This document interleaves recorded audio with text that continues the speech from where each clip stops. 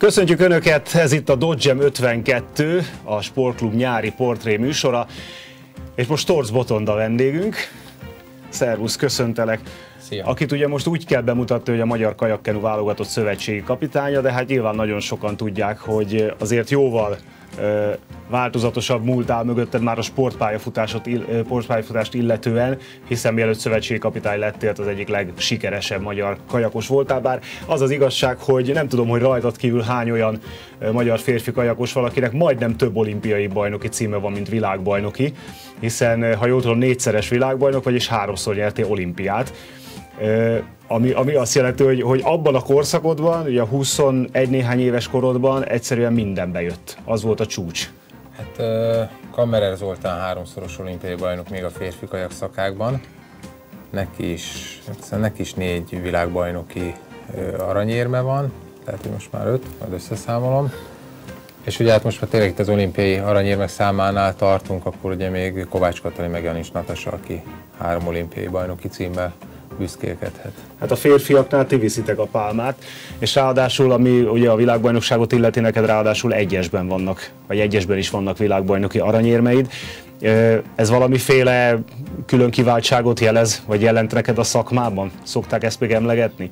Nem, én azt gondolom, hogy az olimpiai aranyérem az mindig felülír mindenfajta kis, tehát világbajnoki vagy Európa bajnoki címet.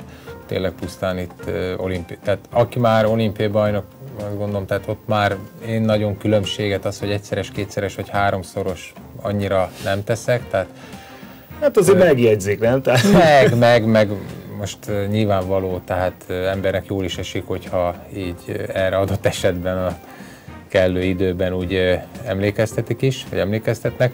Tény is, de most így azt, hogy most valaki olimpiai bajnok, az szerintem már önmagában felülír mindent. De ezt mennyiben tartod igazságosnak, mondjuk szakmai szemmel nézve, most már szövetségi kapitányként is jól tudod, hogy mit jelent egy világbajnokság, mit jelent egy olimpia.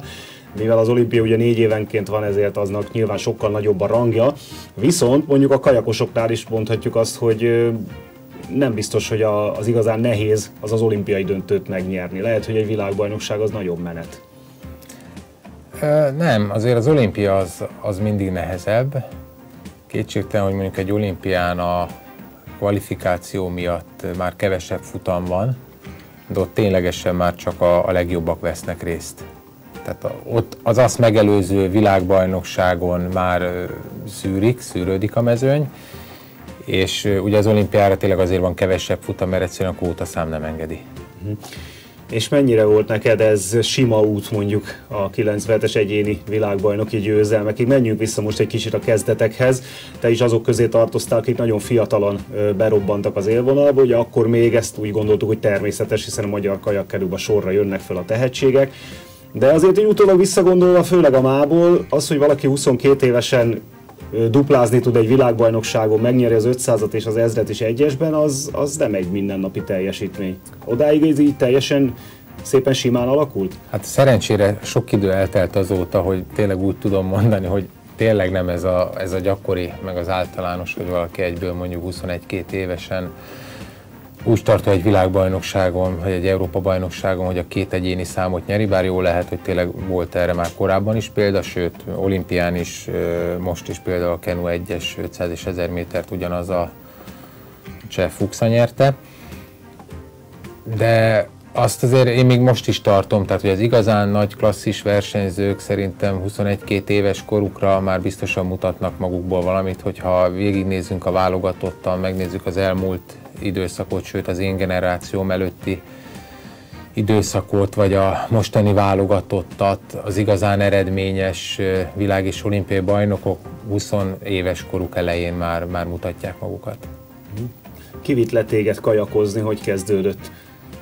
Nagyon egyszerűen kezdődött. Szüleim a mai napig egyébként még a Óbudán az Újpesti Dózsa telepével szemben laktak, laknak, és állandóan lent játszottunk testvéreimmel a Dunaparton, és így, így kerültünk.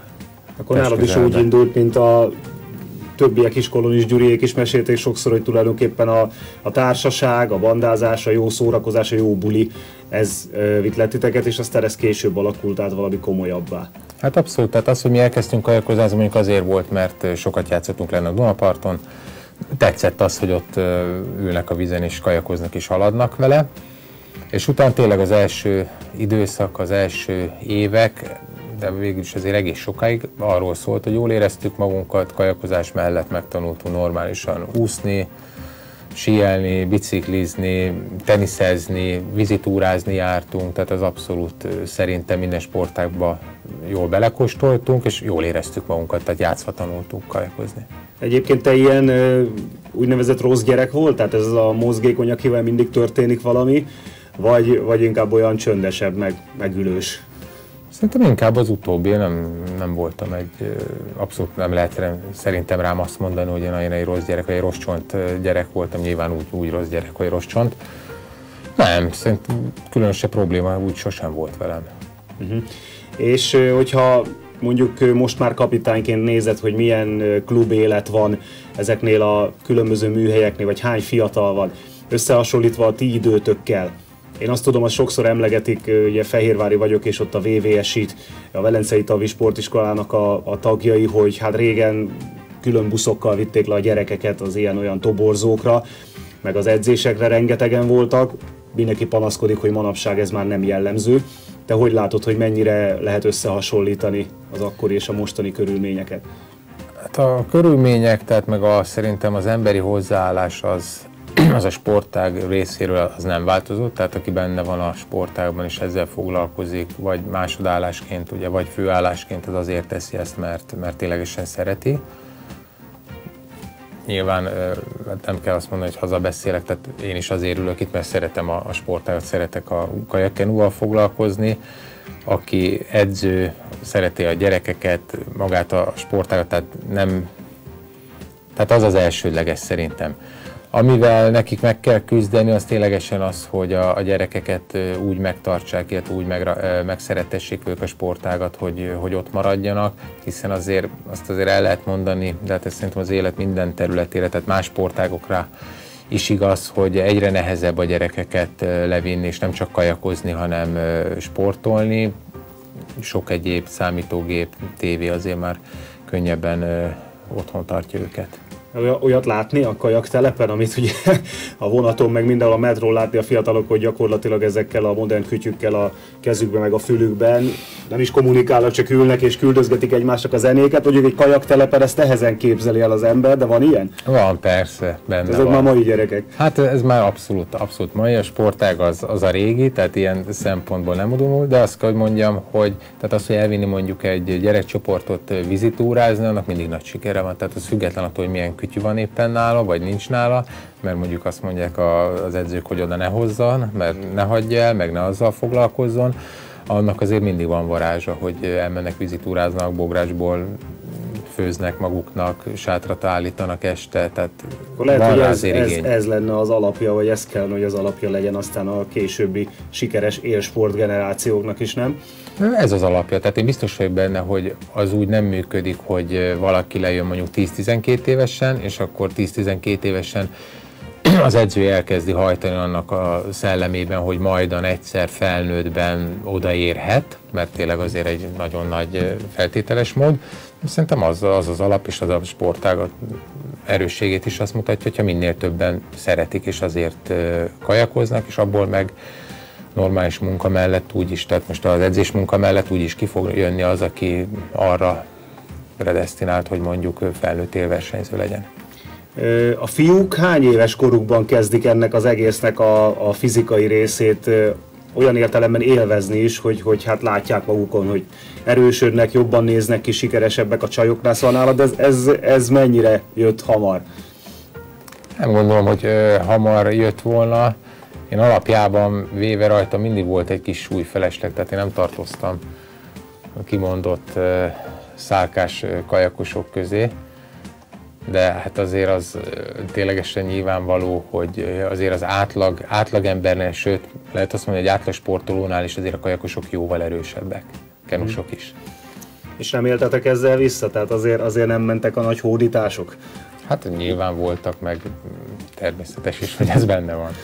Igen, hát most ugye egy napokban nagy visszhangot vett sportkönyvből tudjuk, hogy a, az élsportolók körében hogy mondjuk a hedonisztikus életvitel az nem ritka, gondolom ez a, a kajakosoknál is így volt, ha most nem is kell itt szó szerint a kalandokat beszélni, de mennyire, mennyire összezárt, vagy mennyire, hm, hogy mondjam, ilyen belterjes ez a közeg. Tehát igazából ti, amikor már komolyan csináltátok, akkor így a hétköznapok nagy részét egymással töltöttétek, ugyanaz a kör. Ez mennyire zárt össze a külvilág előtt? De ez pont annyira zárt össze, mint egy bármilyen munkahelyen. Tehát abszolút nem jobban. Nyilvánvaló, hogy vannak a felkészülésnek olyan szakaszai, amikor mondjuk edzőtáborban van húzamosabb ideig egy 30-40 fős csapat mondjuk tavasszal vagy nyáron, akkor nyilván egy kicsit jobban összezár ez a kör, de különben meg pont annyira, mint egy, egy munkahelyen, tehát most ez nem kell annyira misztikusnak gondolni. Mikor jöttek az első sikerélmények? Mikor döntötted ezt el, vagy ki döntötte azt el, hogy akkor ezzel tényleg ilyen élethalára lehet foglalkozni? Nekem ez jött magától, tehát én ilyen szempontból szerencsés voltam, mert én gyerekversenyzőként is ott voltam a legjobbak között. Serdülőben, hiszem Serdülőben nyertem először magyar bajnokságot, ifiben is ott voltam a legjobbak között, ifiben nyertem ifjúsági világbajnokságot, és akkor utána úgy felnőttben is, tehát volt egy-két év, amikor nyilván nem jutottam ki, illetve nem nyilván, de mondjuk nem jutottam ki 19 évesen, mert 20 évesen kijutottam világbajnokságra, tehát egyből nem jutottam ki, 20 évesen kiestem, amikor kijutottam a középfutamból, de úgy, úgy nagyon szépen egymásra épült, tehát lehet azt mondani, lineárisan fejlődtem. Tehát úgy bele.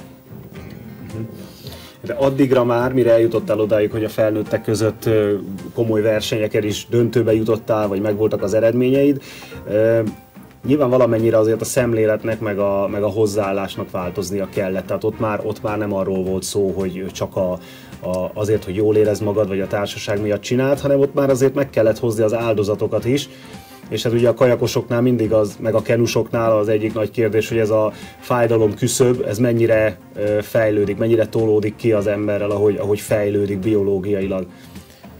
Ez szerintem ez nyilván van egy mentális érés is, tehát mondjuk tehát ha konkrétan a válaszra, akkor szerintem nálam ez úgy az ifjúsági korban volt, amikor már láttam azt, hogy 16-17 évesen, hogy tudok indulni ifjúsági világbajnokságon, tehát az biztos, hogy eh, akkor ott azért eh, egy fokkal komolyabban gondoltam, tehát már sokkal konkrétabbak eh, voltak a célok. Az meg, hogy most a fájdalom küszöb, nekünk ez természetes, tehát ezt nem úgy kell elképzelni, hogy most akkor egyszer csak úristen, nekem meg kell küzdenem, és utána hanyat vágom magam, és, és elájulok, mert egyszerűen egy átlag ember, hogyha egy olyan edzésmunkát elvégezne, mint mondjuk egy sportol, akkor nyilvánvaló azt, azt nem bírná rosszul lenne. Tehát ez gyerekkortól folyamatosan uh-huh. nyilván tolódik De azt mondod, hogy, azt mondod, hogy ez egy, pszichésen is érni kell hozzá, tehát gondolom ennek elsősorban, vagy hát e, nagy részben fejben kell e, ezt tudni kezelni. Nem, nem. Tehát én azt mondom, hogy eh, ahhoz, hogy valaki pszichésen e, felkészüljön és jó versenyző legyen, az kell egy, egy bizonyos kor. Tehát 14 évesen másként gondolkozik az ember, mint 18, de én 25 évesen is másként gondolkoztam, mint 29, amikor az Atén olimpiára készültünk. Uh-huh. Viszont az, hogy fizikálisan mondjuk a fájdalom küszöböt az ember megszokja, ez, nem, ez abszolút nem, ez nem tudatos.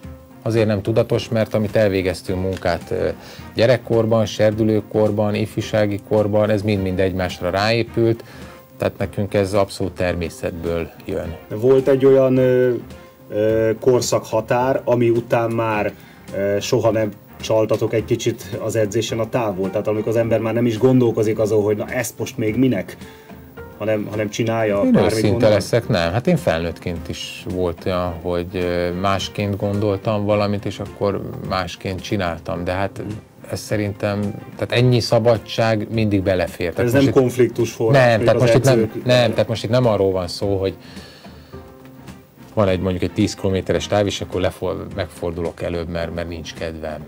Uh-huh. De mondjuk simán lehet az, hogy konzultálni, beszélni, hogy ezt akkor egy kicsit más, hogy vagy van valami kiegészítő edzés, akkor ott más csinálok, mert egyszerűen úgy érzem. Tehát ennyi, ennyi mindig belefér.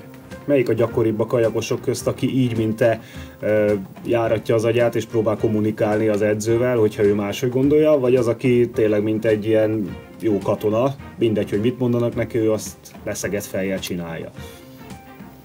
Szerintem az élversenyző között jó katonából van a kevesebb, uh-huh. tehát aki tényleg profi szinten élversenyző, mindig egy kicsit, most csúnya szóval élve variál, és pontosan azért, mert mondjuk én is önfejű versenyző voltam, és én is azt gondoltam, hogy én mindent jobban tudok, hiszen önmagamról van szó, de ez tényleg egy folyamatos oda-vissza jelzés az edzés a versenyző között. Kolonis Gyuri melyik típus volt? Mert én egyszer beszéltem vele, azt mondta, hogy ő hát alapjából vévő egy ilyen lusta típus, mondta ő ezt magáról, de szerintem soha nem volt olyan ö, résztáv vagy plusztáv, amit ne csinált volna. Ő, ő szerintem mindent, igen. Ő Tehát szerintem, hogy mindent, nem, ő mindent, igen. Volt. És egyébként kapitányként, tehát most, amikor most már a partról nézed mondjuk a fiatalabbakat, akkor ezt föl tudod használni, hogy egy kicsit érzed, hogy az ő fejükkel is tudsz gondolkozni, amikor esetleg lázadnak, vagy valami nem tetszik nekik? Nyilvánvaló. Azzal együtt azt is mondom, hogy sokkal egyszerűbb, hogyha valami világos irányvonal, egyértelmű irányvonal mentén lehet haladni.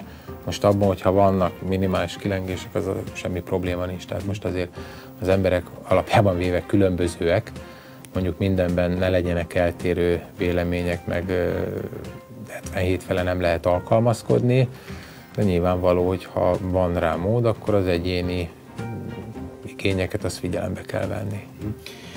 Menjünk vissza akkor most még egy kicsit 1997-ben, ugye a Dartmouthban volt az a világbajnokság, ahol te megnyerted az ezret és az 500-at is.